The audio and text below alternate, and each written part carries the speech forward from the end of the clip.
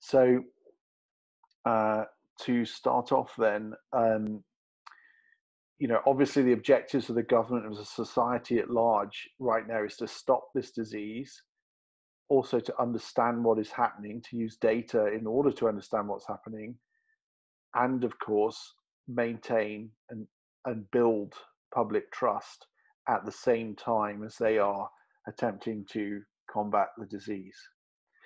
So, to walk through some specific, sort of general things uh, that we think around the uh, legal regime, Javier may go into greater detail later, but the General Data Protection Regulation has broad general provisions explaining that that data can be used in an emergency like this. It even talks about um, specific medical emergencies a little bit in the recitals, um, but it doesn't stop existing uh, just because data is used.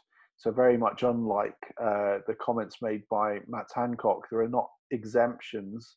There are there is a, a legal regime which maintains itself, while consent is perhaps not and, and, and sort of is no longer the exact model.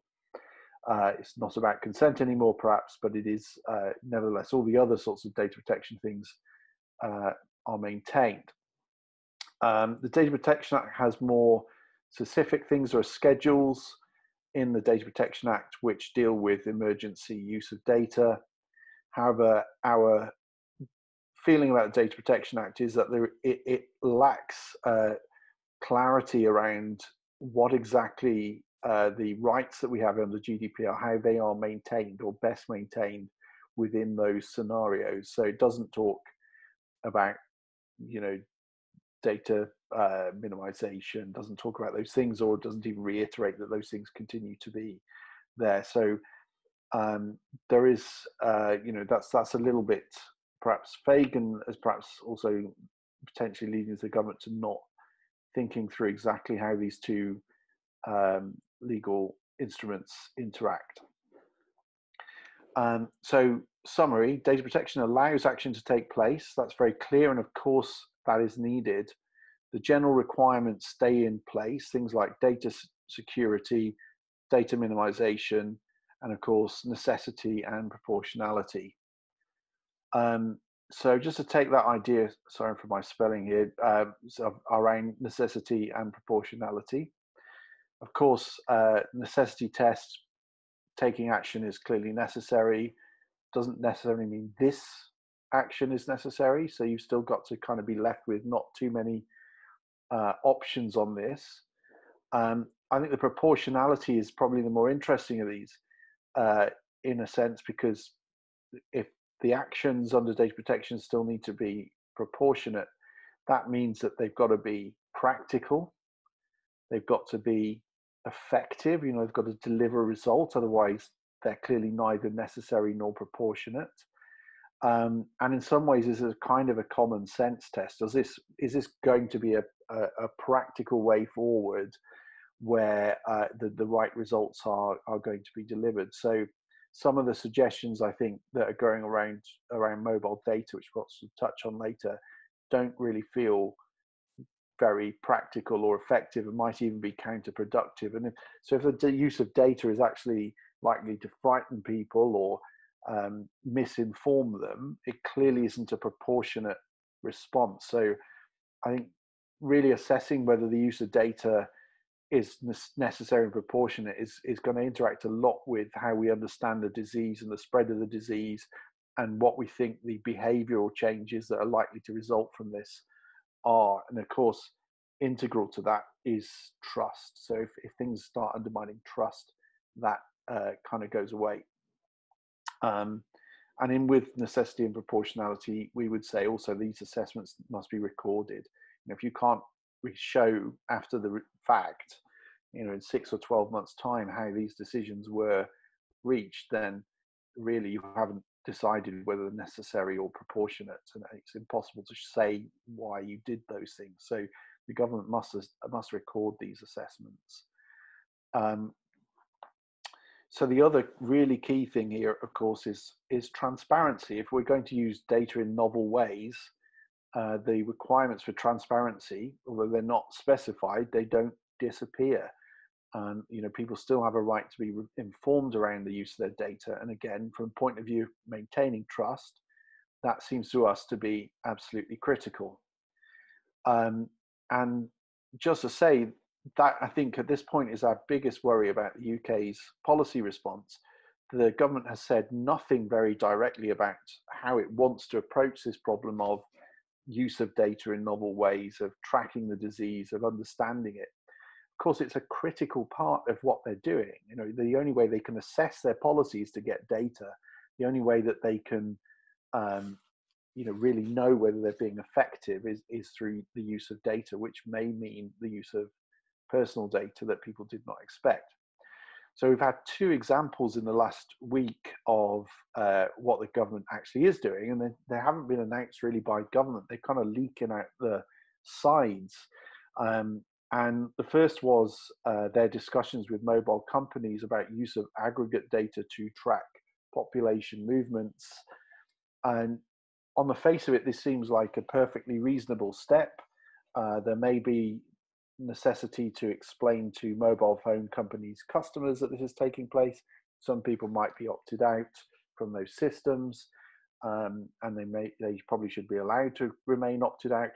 Nevertheless, uh, this isn't you know it's aggregate data that's being supplied to the government the analysis is all, tools already there so the privacy intrusions to the extent that those exist already exist this isn't a new privacy in, intrusion so it seems a reasonably sensible step uh, nevertheless the government did not communicate about this it just leaked and they continue to say nothing about it in fact refused to talk to the uh, press when they asked about it I don't think that's a good way of uh, proceeding. Is it just kind of sets up an atmosphere of mistrust and confusion, and potentially, um, you know, allows rumor and other things to start to, uh, you know, fill the gap.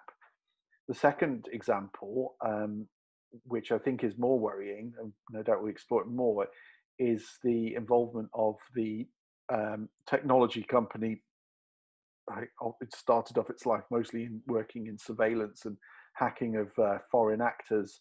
Uh, the company Palantir uh, is now set to supply the NHS with systems to analyze and understand um, appears like the use of things like hospital beds and monitor the distribution of resources. And now that in itself is not about personal data but palantir are all about personal data.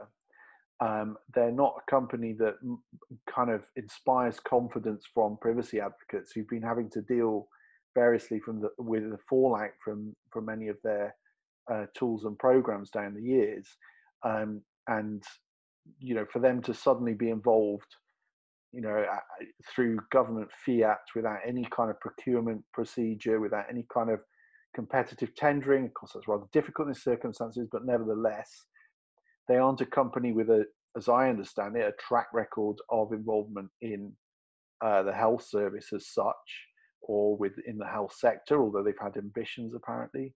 Um, suddenly they're involved in the NHS. Now, currently, that's non-personal data, but do we think that this company's ambitions are going to stop at that point? I think that's very debatable. So um, this is a worrying move. And again, the government could clear all this up by saying, we understand that Palantir are a company with reputational challenges. Uh, we wouldn't allow them to step into the field of personal data in this crisis. They could say that, they're not saying anything. So, this again is only going to produce speculation and fear. So, at this point, it feels like the government's response is very weak in this area. Uh, it's not perhaps the only area where uh, communications issues have occurred, but uh, this is, uh, in our view, quite serious because it has a great deal of potential to undermine the overall policy response against COVID 19. Um, so, elsewhere, to kind of give a flavour of the sorts of things that are happening elsewhere, there are things like surveillance measures being used, uh, often quite intrusive, uh, you know, tracking of individuals, sometimes tagging of individuals, sometimes using Bluetooth and other sorts of things to, to know where people are, particularly if they're potentially infectious. Um, those sort of surveillance measures have been uh, put in place elsewhere. There's use of data for police enforcement measures. Um, apparently, you know, CCTV cameras, facial recognition technologies, and other things have been suggested in various places. And of course, there's a lot of talk about the use of mobile data to track individuals and potentially say, you know, this person's at risk or not, or this area is at risk, that kind of thing. So, uh, and of course, other kinds of data come into that. Um, I think uh, Javier might talk a little bit about some of those examples later, but our understanding of this is that mobile data is not really suitable for deducing risk in this area because it can't really mobile data in particular is just not granular enough you know it's like accurate to 50 or 100 or 200 meters that doesn't really tell you if you've come into sufficient contact with somebody if they're infectious. Um, you know maybe if it's combined with other data this can help but again you've got to understand the nature of the risk. That's very hard to do from mobile data alone you know has this person been uh, you know very close proximity uh, or are they have they been keeping a sort of two meter distance? You know this isn't something you can find out from mobile data. Um, so it's it's actually very hard i think in practice for this to be useful in the way that some people believe it might be. Um, and of course you know if you're telling somebody that they're at an extremely low risk but nevertheless a risk you're likely to frighten them. You could get them to turn up at hospital all kinds of things which are inappropriate. So you've got to be really really careful about thinking through how to use mobile data. Um, it probably isn't the silver bullet that many people seem to believe it is. Um, that's kind of it. Uh, I say very, very brief, very top level. Um, but you know, the key thing for us is we need the government to maintain trust, and at this point, it really isn't. It's being silent, and silence breeds problems in an environment like this. It needs to be a lot more forthcoming about how it wants to use data. Nobody's going to object to the government solving this problem uh, using personal data in unexpected ways. That is not going to be a problem for anybody. The problems will arise if that either ends up being deeply inappropriate, as in ineffective or counterproductive, or if it uh, is is not discussed. That those are where where we're going to get problems. Um, so for the rest of this, as, Mike said, we're going to kind of open this up. Um, I, I, think Javier may have some remarks to make if he's uh, on the call. Yeah, Javier's um, here. Would you like to um, yeah, chime in, then, Javier? Uh, hang on a sec. Um, and then um, the then we'll obviously open it up to questions. But I also really value everybody's thoughts about strategy around this because it's going to be quite easy for this to be a little bit under the surface until it becomes a problem. You know, it's going to be very easy for the government to kind of ignore this as oh, there's only privacy advocates. Who's going to worry? No one's going to worry. And then, of course, something breaks and people don't like it, and then it becomes a problem. And then they wish they listened to us. But you know, we we, we want to avoid that if we can. Thank you. So, Javier, do you want to come in? Yes. Hi. Uh, I don't know if you can see me as well, hear me. We can. Yeah. So, yeah. So basically, for the um, for the past uh, couple of weeks, we've um, I guess like many people working on this area, we've been trying to understand, you know, what um, a what is the um, regulation of this area in the UK, and also what's uh, what the UK government is doing, which, as uh, Jim has explained, has not been really um, publicized um, to the level that we think is required, but also looking at what other countries are doing around the world. And there are lots and lots of media reports know, um, out there, you know, like the New York Times, for example, you know, they've been doing a um, really, really good job, for example. And then, but it's uh, it's actually quite hard to. It has been quite hard. I think we now get a sense of uh, what's actually you know, what are the main approaches? I think uh, something that we we need to understand first of all is that we haven't reached uh, in the UK the point where the use of data um, is going to is being used to actually enforce um, policy. I think that at the moment, um, all the discussions that we've seen in the UK are about uh, using data to try to help government understand whether what they are doing, you know, like the measures that they are advocating are working on a general level. But the, um, the two main things that, um, the two main interventions uh, to deal with the pandemic, you know, if you want to actually, if the state actually wanted to, to force uh, behavior, uh, would be uh, enforced quarantine, you know, forcing you to stay at home, and um, obtaining data to do contact tracing to know if you are infor- if you are uh, infected to know who you may have been with and those are the two main um, quite previously intrusive uh, uses of data that were and what, what we don't know is at what point uh, the UK may want to start doing these things in a more serious level. For example, when the lockdown starts to open, and then you need to really know, you know, you're going to have people in the street who may or may not be infected. There is a concern that they, there could be pressure to try to really enforce quite seriously that if you are sick, you know, you really cannot get out of the house. And if you are and if you are sick, you also need to really tell the government who you've been with now, as Jim has said, you know, it's very unclear whether some of these technologies would achieve uh, those um, methods. I mean, there are solutions out there that people are trying to figure out. So, for example, for uh, for enforcing the quarantine uh, in Poland, um, the government has created an app that will force you to take a selfie at random times during the day. That is also geolocated to show that you're actually, at home, you know, and that is you obviously i'm sure that there are many people in poland right now trying to figure out how to hack um, selfies you know like whether to put a video or something you know but there and i mean and that's the thing that you can be certain that once that the quarantine is in place you know and really enforceable and selective some people either through a lack of social consideration or simply because they are forced because they don't have money and they have to leave the house and you know they feel that they to feed their families they will try to breach the, the restrictions. At that point it's going to be a very very difficult call and and we'll probably see enhanced use of uh, technology to try to to try to do that. For example, in Hong Kong, the government has given um, people who are suspected um, of being infected a bracelet that they have to wear, and actually, and the bracelet, you know, connects to the phone and provides location data. And I think that the idea with the bracelet is that basically you cannot take it off, no? So it's not because I mean the obvious thing to do if you are being traced through your phone is you leave your phone at home and then you go for a run. But with the bracelet, you can do that. So we are seeing quite a few um, initiatives like that.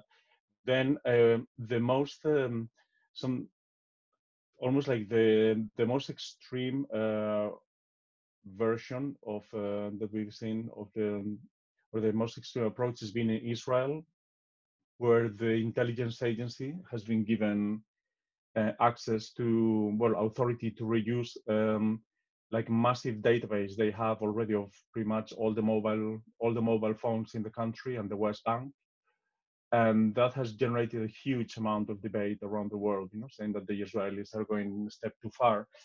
Unfortunately, the UK already has the same data and probably more, and the whole legal infrastructure to do exactly the same that the Israelis are doing right now it seems unlikely that they will want to do it. Uh, first of all, because it's not uh, clear that the that type of location would give you um, enough accuracy to do contact tracing, and the, um, and of, also because of course the legal um, well there are there are no legal implications really, I mean other than some minor tweaks possibly to some authorization, but the, um, there it wouldn't look very good to have the intelligence agency, home, you know, MI5 and GCHQ doing this. You know, it would be, and it would totally remove transparency. But the um, technical and legal capabilities to do this whole thing through intelligence agencies is definitely there in the UK, much more than in any other country in Europe.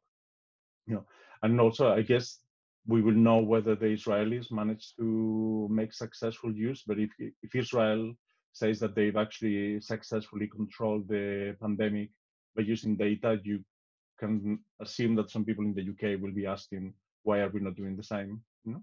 And I think that this is the the general pattern, you know, whatever works uh, will be seen as the model. Unfortunately, you know, what we have to hope is that the least authoritarian um, approaches are successful, and you know, other countries like the UK that are arriving a bit later can try to copy those, and not just you know the um, Israel or China, which are a, a lot worse.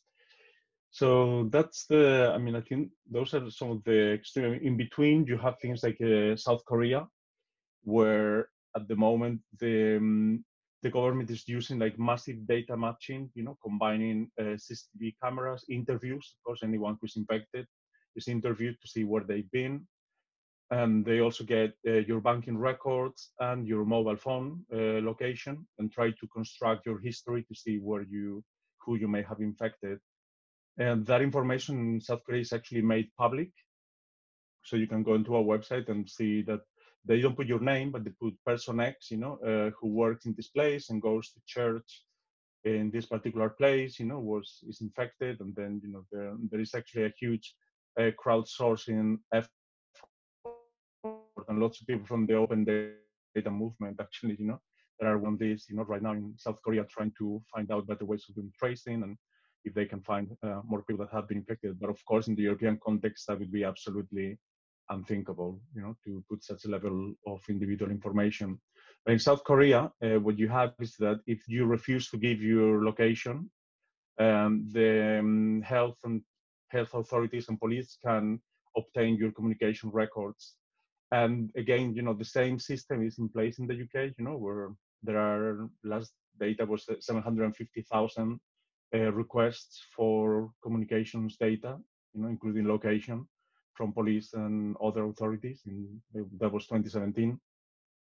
But the infrastructure would be in place to do a similar approach to South Korea, uh, minus the public part. So if you you're forced into quarantine or you're forced to declare your contacts, the police and actually um, some NHS authorities could um, could obtain that data. And also in the context of emergencies and saving lives, the NHS trusts actually ambulance trusts they are called in law they can already obtain your comms records you know so they could so they could try to get your own data for but that would be in an emergency and possibly contact tracing would not totally fit. So yeah i mean basically we are seeing lots and lots of different initiatives you know uh, at the moment the the uk seems to be also developing some form of app through nhs x which is the innovation uh, arm's length uh, body of the NHS. It's not completely clear, you know, and to be honest, the moment that you take your eyes off Twitter, you know, um, some news appear again, you know, so it may be that even now in a few hours, we have more detail from the last time I checked. But from what we know, it seems that this um, this app is going to follow the Singapore model, more or less, which is based on letting people to download, um, asking people to download an app on their phone that will keep a Bluetooth location and possibly GPS uh, in some cases, but not in not in Singapore, you know, but in other countries. Um, and they will keep your location, but mainly uh, what the app is trying to do is not to see where you have been, but try to identify other people using the same app who have been near you. So the app only checks uh, proximity; it doesn't keep uh, absolute or coordinates or geolocation you know? So you know you've been together but you could have been together in the north pole or you could have been together in london. And the idea is also that you need to have the phones together for something like half an hour for the match to be generated. Then if you're sick uh, you're asked to then upload the data to the government and people who have signed up they will then get a message you know who have the app and put their mobile um, they will get a message saying that they should test because they may have been um, may have been infected. So that seems a much better approach. Now, of course, um, the success of that app relies on pretty much everyone having the app. You know, so if there is no uptake, uh, what is likely is that at some point there will be calls for more draconian uh, measures. You know, whether it's like um, authorization from an individual level or just um, MI5 getting all the data of everyone in the UK and just you know uh, accessing it on tap. So those are the main things that we are that we have found so far. And I think, as uh, Jim said, at the moment, you know, the the legal framework is really pretty much everything there for any of these um, approaches. You know, so you could you would then need to change very very minor tweaks, you know, to legislation may in, be required in some cases. You know, maybe you want to change some authorities that can access data, or you need to um, create a new authorization, you know, administrative authorization. That we wouldn't need to change the legal framework. You know, and I think that I mean I think for us the the feeling so far is that there are ways of doing this thing properly. Um, with you know trying to respect privacy and try to you know in, doing it in a proportionate manner. But right now the most important thing as jim has said is to really have transparency and to put all these things in the open rather than having to find out through exclusive you know leaks to you know journalists and trying to just follow up the whole thing on twitter as if we were following the kremlin something you know.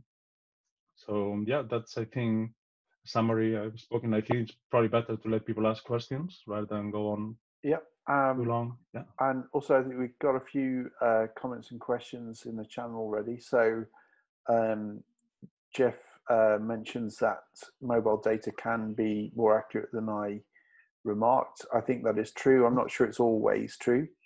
Um, but yes, sure, uh, if you have various other levels of information to combine with it, you can get it more accurate. And of course, um, you know, if you've got GPS, that also helps. Um, somebody also asked, mm-hmm. um, under what laws can ambulance personnel obtain communication records? Uh, is that built into the Public Health Act? I think that's the mm-hmm. um, investigatory powers regime. So this is just simple uh, data requests, uh, usually for communications records, which you know doesn't require authorization uh, when it's just kind of whose phone number is it. That's pretty much just you you get that. Mm-hmm. Yeah. Having said that, there are um, there in the emergency legislation there are very that's something that's also quite remarkable that emergency powers uh, through the um, is the public health emergent um, epidemics or you know act i forgot the, the full name now or the civil contingencies act. Those uh, laws create huge powers to do things like a closing schools or uh, stopping people forcing population controls but there is a surprising little amount of uh, stuff there on actually information processing. There are powers for authorities to command information from other authorities you know on things like um, for doing like planning and policy but there is uh, most of the powers for information in emergencies are already in the general surveillance and data protection laws. Yeah. Okay, so uh, a couple of other comments. Somebody, um, I think it's uh, Ian comments that uh, you know if, the, if, if, if apps like that got uh, compulsory, he'd be tempted to ditch his smartphone.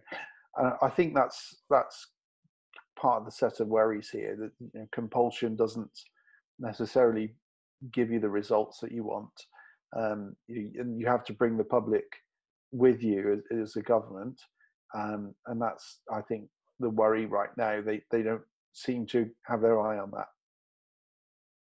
Mm-hmm. Um, has, have other people got comments or questions? I think we should open it up a bit. Uh, if you have, just uh, either raise your hand or unmute. Uh, we have 60 people on the call, so it's probably an idea to raise your hand. I think.